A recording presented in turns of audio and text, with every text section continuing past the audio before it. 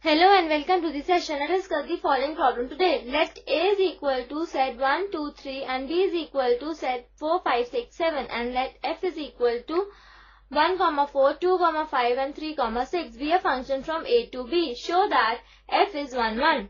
Now let us write the solution. Let F be a function from A to B where A is equal to 1, 2, 3 and b is equal to 4, 5, 6, 7 and f is equal to 1, comma 4, 2, comma 5 and 3, comma 6. It is clear from above that f of 1 is equal to 4, f of 2 is equal to 5 and f of 3 is equal to 6. Therefore, we observe that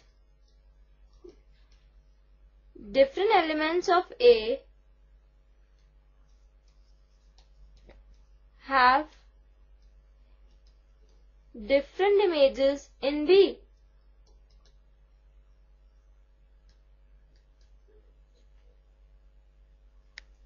Therefore, F is 1 1.